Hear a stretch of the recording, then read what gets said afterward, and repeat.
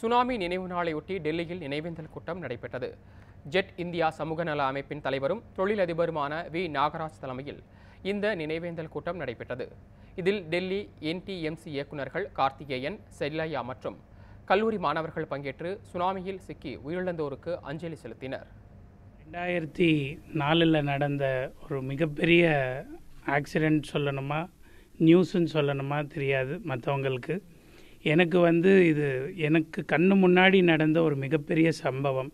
So அதோடைய வலி என்னை சுற்றி இருக்கிறவங்களுடைய வலி எல்லாருடைய ஆதங்கத்தையும் நான் வந்து ரொம்ப கண் கண்ணுக்கு நேராக பார்த்துருக்கேன். டெல்லியில் இருக்கிறனால இங்கே இருக்கிற நம்ம தமிழ் மக்கள் எல்லாரோடையும் இந்த இந்த நாளை வந்து எல்லாரும் சேர்ந்து இது பண்ணணும்னு சொல்லி ஒரு தாட் வந்தது.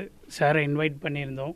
செல்லையா சாரும் கார்த்திகேயன் சார் பாலாஜி சார் எல்லாருமே வந்திருக்காங்க நம்ம தமிழ் தமிழ்நாட்டிலேருந்து ரொம்ப பெரிய ஒரு பதவியில் டெல்லியில் ஒரு பெரிய ரெஸ்பான்சிபிலிட்டிஸை பார்க்குறாங்க so thanks for coming sir